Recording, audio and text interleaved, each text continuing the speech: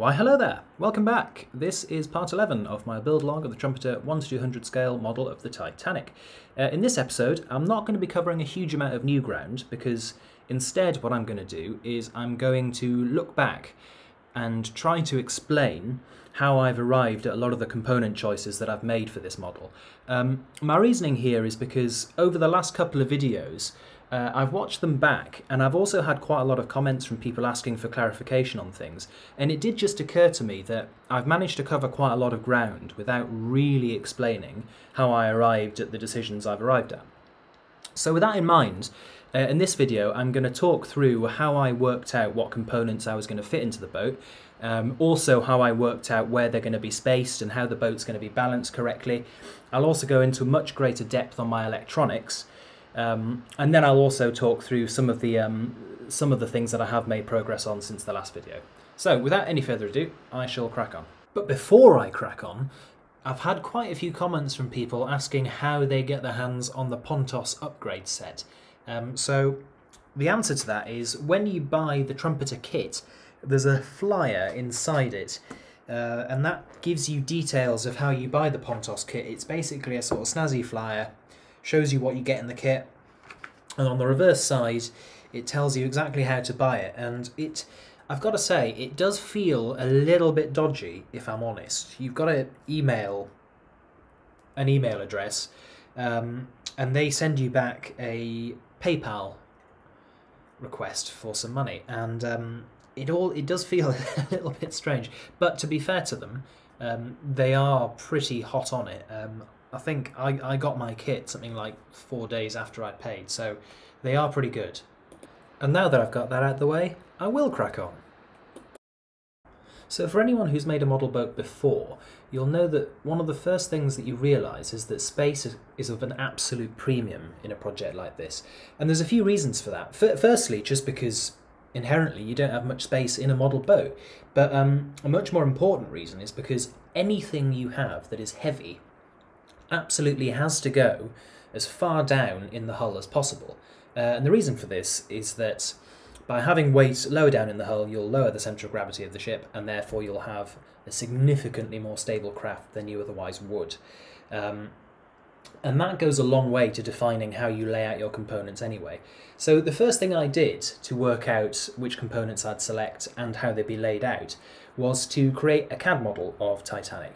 So I used Titanic's original plans from C deck and the Orlop deck and lofted them together to create a model. Then, through knowing Titanic's length and through knowing the, the actual scale of the model I'm working with, I was able to scale the CAD model down.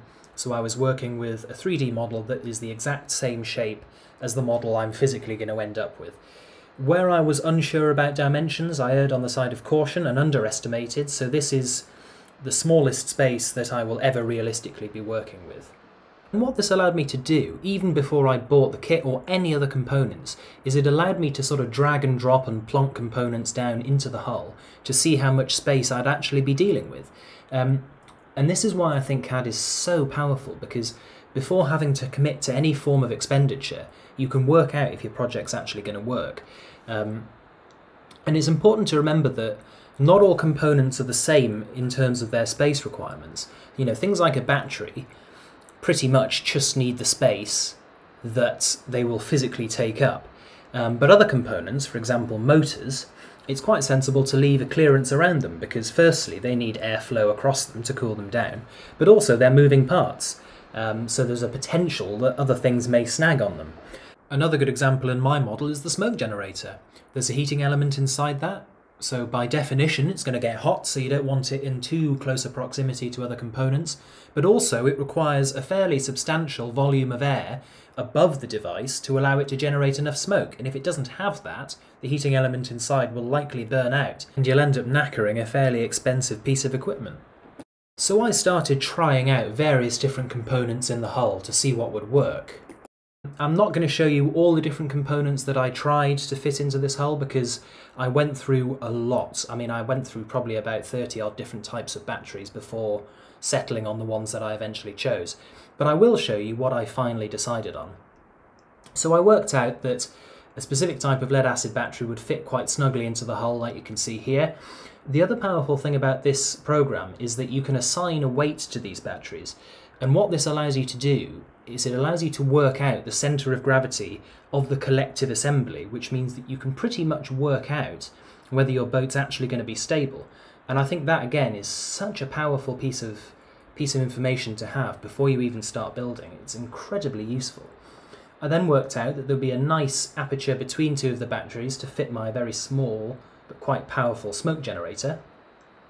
And then at the ends, of course, the motors close to the propeller shafts are able to fit in quite nicely like that. And the arrangement there allows for a decent portion of airflow across them, whilst also allowing an area behind the motors for some of the electronics. I've also been careful to leave a reasonable amount of space behind the motors on the solder tabs. And the reason for that is that these motors are going to have wires coming off them, and it's important to remember that you mustn't violate wire bending radiuses, because if you do, you're going to end up with premature failures as well. So you need to leave enough space for your wire bending radiuses and your wire routing generally. Another really useful thing that this model's been able to show me in advance of building, by chopping it in half I was able to see the height to which all components would reach when they were mounted in the base of the hull. Um, and I was able to work out that all of these components sit quite comfortably below the level of the lowest row of portholes. And so this is really useful for my lighting system because what it means is that none of these components are going to block any light shining out through the portholes. When it came to actually specifying components though, I did do more than just use my CAD model. Um, and my thought processes here were in some parts down to what I'd used in the past, but also just by reading up and researching. So for example, the MFA motors, I've used these before a lot of times, and I think they're really, really good motors. They're quite compact, um, but they do churn out a decent amount of power. Um, they're also as far as I've found, the best small model boat range of motors, but with a decent variety of gearbox attachments on them. I think this particular model here, the uh, the 950D series, that came with about four or five different options for gearboxes, and I do think that's a really useful thing to have. Um, other things, for example, like the uh, speed controller, I've used the Mtroniks Viper Marine controllers before, and I do think they are a really good product. Uh, they're waterproof, which is really useful. Um, they are, I think they're pretty efficient. It's difficult to work out exactly how efficient they are, but I find them to be pretty efficient and they don't seem to have any issues with overheating, which is quite impressive when you think they are. They're, they're switching a, a decent amount of power considering their size. You know, that's that's my index finger up against it. They're not, it's not a big chunky device and it's powering three motors. Um, the smoke generators as well, these were things that I'd not really worked with much before. I've only used the um, miniature sort of Graupner 6 volt smoke generators before, but I'd heard really good things about these Harper model smoke generators, particularly just in terms of how much smoke they actually kick out. Um, so with this particular component, I was really drawn drawn to it based on the physical size. It's really small, nice and tiddly. Um, also its running time, without any maintenance. It is able to run for about two hours when you fill it up full of smoke fluid, which is brilliant. That means that I don't need to sort of take the boat apart halfway through a sailing to fill it up with smoke fluid. Um, and also just the fact that it seems to be a really nice piece of kit and it's been well reviewed. So I'm looking forward to trying that in the actual boat. And I mean, to be fair, these things kick out a hell of a lot of smoke. I tried this in my living room not all that long ago now, and I really wish I hadn't because it filled the entire bloody room with smoke in under a minute. It was it was quite catastrophic, really. Smoke alarm going off, everything. It was great. Um, so I think that's probably been quite a good purchase. I think the hardest thing to work out what to buy is probably the batteries. And the reason for that is there's just so much selection. You know, there's different chemistries of battery, and within each of those different chemistries, you've got different sizes, different voltages, yada, yada, yada, yada. Um, I went for lead acid batteries in the end. These are about as simple as you can get in a battery. Um, they are undoubtedly the cheapest. Um, and the reason I like these is because they're able to kick out a hell of a lot of current. Um, there's a reason that these are used in car batteries and stuff, and the reason is that they can kick out enough current to turn over your motor. Um, so, but they're less good in a lot of other respects. Things like lithium ion and even nickel cadmium are much better in terms of um, power to weight and that sort of stuff. Uh, but lead acid is cheaper, and if you look after them correctly, they can last a long time. And note what I say there, if you look after them correctly. So all batteries uh, are quite susceptible to what's called deep discharge. So if you discharge a battery all the way down to zero volts, you incur an amount of lasting damage on it. And lead acid batteries are particularly susceptible to this. So normally, when you design a circuit with a lead acid battery, you don't design it for the battery to run all the way down to zero volts. I've seen some people design circuits where they only anticipate the battery will get discharged down to 80%. Um, and the idea of that is that you then are you're greatly increasing the amount of life you can expect from your lead acid battery. Uh, I've done some calcs using three off of these lead acid batteries. I reckon that I could discharge these down to 50% during a running session, and that would give me about an hour and a half's worth of running based on 70% utilization of my motors and having the smoke and lighting on at all times. And I'm quite happy with that. Going by that rationale, these motors will, excuse me, these batteries will last best part of two, two and a half years. So I'm pretty happy with that. Um, the other thing I like about them is that they come in a, a, wide variety of different sizes, and this particular design, it's nice and thin, and it's quite long, which is ideal for Titanic, because this can sit nice and low in the boat, far below the waterline, but also has a good amount of power. The other thing that a lot of people do with lead acid batteries, which really knackers them, is that they leave them discharged um, for a long period of time, and that leads to something called sulfation. Um, the correct thing to do with a lead acid battery is to, the moment you finish with it, is to charge it back up to 100%. And once it's, uh, once it's charged, it'll sit there quite happily charged, waiting to go again. But what normally happens is that people use their boat, take it home, pop it away, and then they only charge up their batteries before they next run it.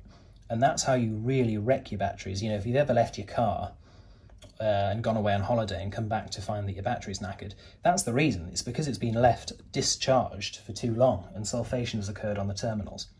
So that's some of the rationale behind the component selection that I've gone for. So the next thing I'm going to talk about is my circuit diagram. Um, and a few people have asked me questions about this, so I thought it'd be worthwhile putting the circuit diagram in a video so that people can actually see it properly. Um, so working from left to right, we start off with three 12 volt batteries in parallel. Um, now, one of the things that I haven't been able to work out from my use of CAD is how the superstructure will affect the balance of the ship and the weight of the ship. So my contingency plan there is that if the ship becomes too heavy when I have the superstructure on top of it, I can remove one of those 12 volt batteries and operate with two 12 volt batteries rather than three. So that's a bit of contingency planning I've already built in. The next step along from that is uh, the RC switch. Um, now this is what I showed in the last video, that's a sort of key fob that locks and unlocks the boat. Um, and the idea of this is that it totally separates the supply batteries from any of the electronics. So this allows me to, once I've got the boat by the bank of the river, I can simply use my key fob and connect the batteries into the circuit without having to dismantle the boat. And you'll notice that that is powered by its own 12 volt battery.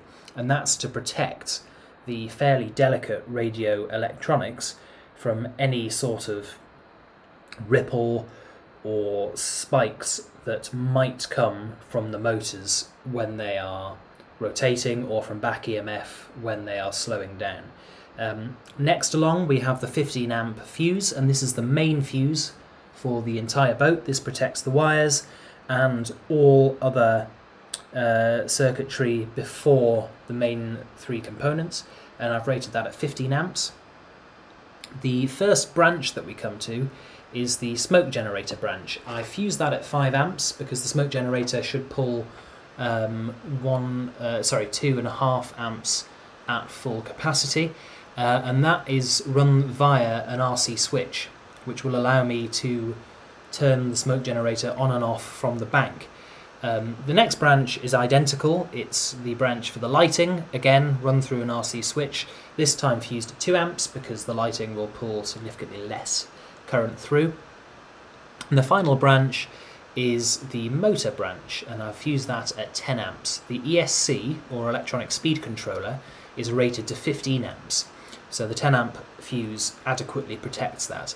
And you'll notice that there are three motors being fed from that. The first two motors are the wing propeller motors, and the final motor is the central propeller motor.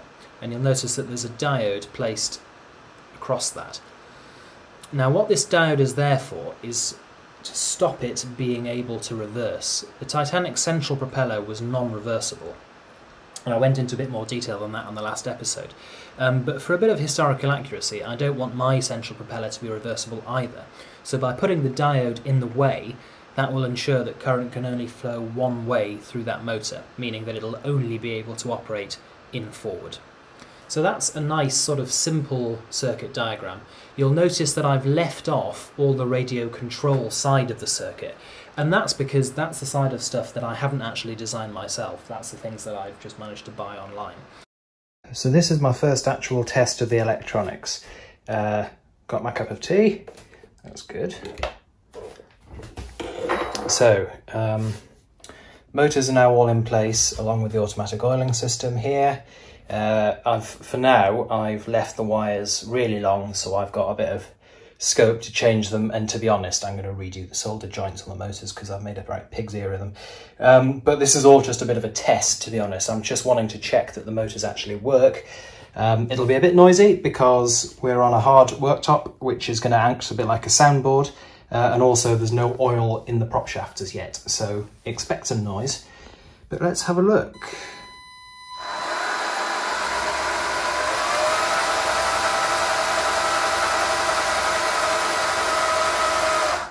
So that's forward. Now in reverse, I'm expecting the central propeller to remain still because of my diode in the way. So forward again, reverse. Lovely.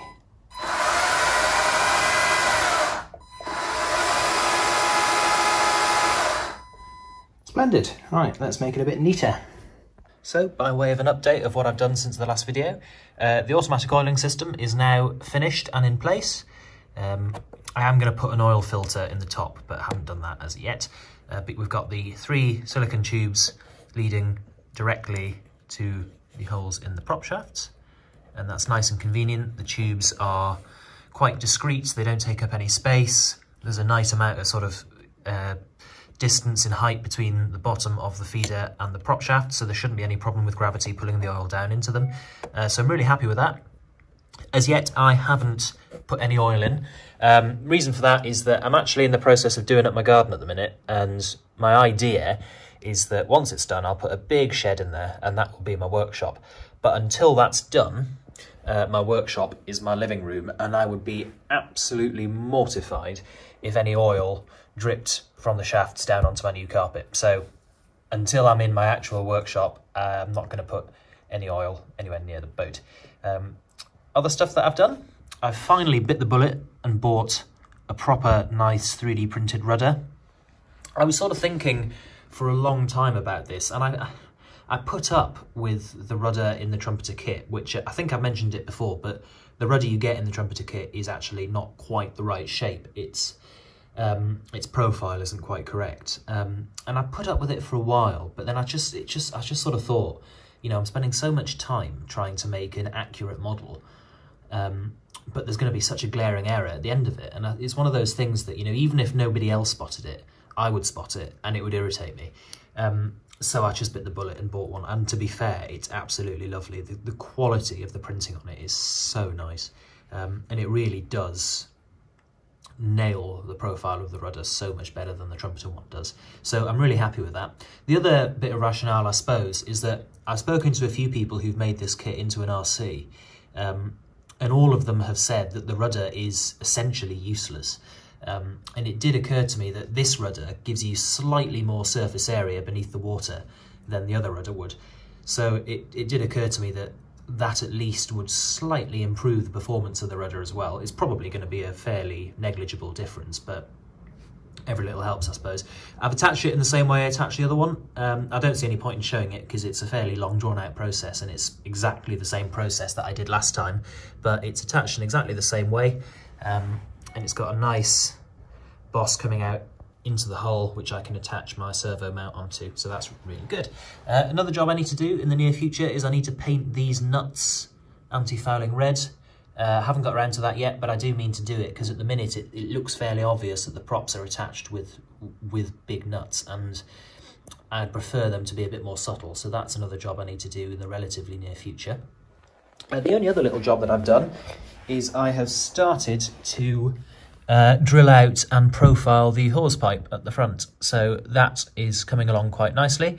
Uh, once it's done, I will fill the back with a wee bit of UV resin just to make sure it's all waterproof. Um, and I do intend as well in the near future on painting the inside of the anchor ports in red. Uh, I did note the comments that people said in the last video on that.